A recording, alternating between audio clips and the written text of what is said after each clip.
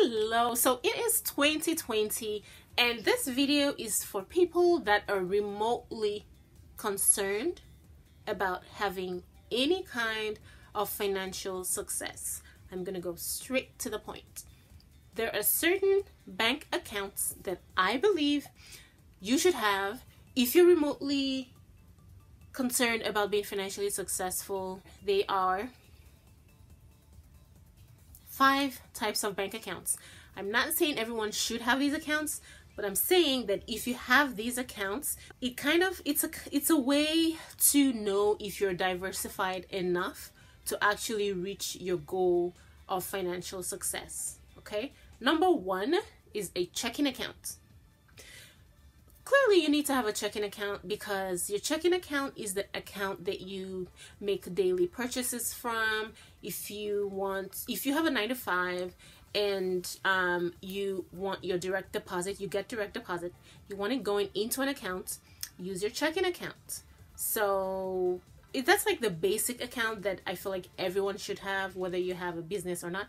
Even if you don't have um, a nine to five um, or direct deposit, you can't just have a checking account because um, you need an account. Like, how else do you? It just makes things so much easier when you have like a regular basic checking account.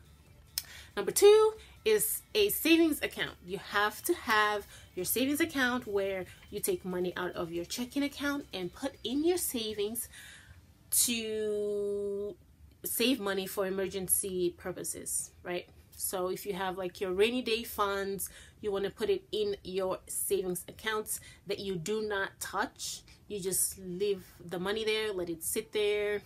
And um, if you want to, yeah, your rainy day fund, just put it in your savings account, forget about it. You can have um, deposits from your checking account going into your savings account that's automated so that your money can just go in there without you having to do anything every month. That's why you need a savings account. Okay? Now, that is a basic savings account. After that, you need an interest generating savings account. Now, here's how this is different from your regular savings. Your regular savings, like your rainy day fund savings, can be put in an interest generating savings or a non interest generating savings account. It depends. Some banks, like a lot of banks, um, I find out that they, your funds that are in your savings account can generate interest if they're up to a certain limit, okay?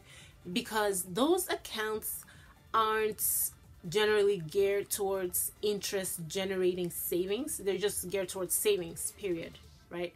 So, in my opinion, if you have an account, a savings account in a bank where you have to have a certain limit in order to generate interest, um, let that be your rainy day fund because rainy day fund could you can go in there and it's not a CD, you know, you can go in there and take money out if you have like medical bills or something unexpected that you don't have money for in your savings in your checking account you can just go into your rainy day fund and you know take the money out. It's best if you let the money sit there and not touch it. Um however you want it to be kind of liquid and by that i mean you cannot put your rainy day fund in a cd because when you put your money in a cd you're not supposed to take it out okay? You're supposed to leave it there. So you have your regular savings for your rainy day fund, which should be accessible, even though you're advised not to access it until you need to. But what I'm talking about right now is your interest generating savings account, which preferably, preferably should be in an account, a savings account that generates interest regardless of a balance, you know? like regardless of what your limit is you should be able to generate interest once you put money in it okay? And preferably it should be in an account that you cannot access that easily. So you cannot have your rainy day fund in your interest generating savings account because you kind of have to let your money sit there for it to generate some interest. And um, an interest generating savings account is important for a couple of reasons. One if you're planning to invest in something let's say let's say you're planning to buy some stock right? And the stock is expensive. You kind of have to save up to buy the stock.